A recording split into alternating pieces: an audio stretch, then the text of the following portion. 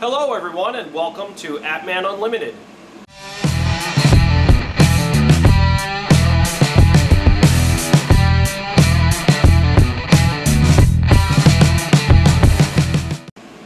Hello everyone, my name is Tim. My wife and I started At-Man Unlimited with the goal of providing lower cost machining services to makers, inventors, and small businesses. We can do prototype work, small production runs, and one-off parts with our vertical machining center.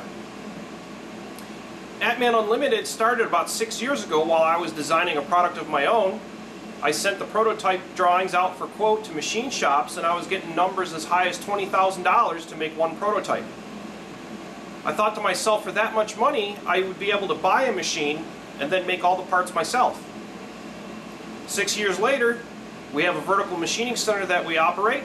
I make all my own parts for my own products. And then I thought to myself, there had to have been more people in my position that had a product they would like to bring to market and they needed a prototype made, but the standard machining route was just too cost prohibitive for them. I'm starting this channel to help other makers and inventors who are interested in possibly buying their own vertical machining center. There's a lot of great information out there for personal CNC machines, but there's not too much information for large vertical machining centers.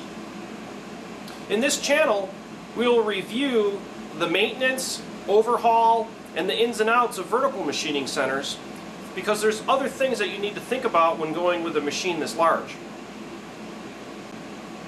If you'd like some more information on the services At-Man Unlimited can supply or a quote for machining, please feel free to email us and I hope that you enjoy the channel.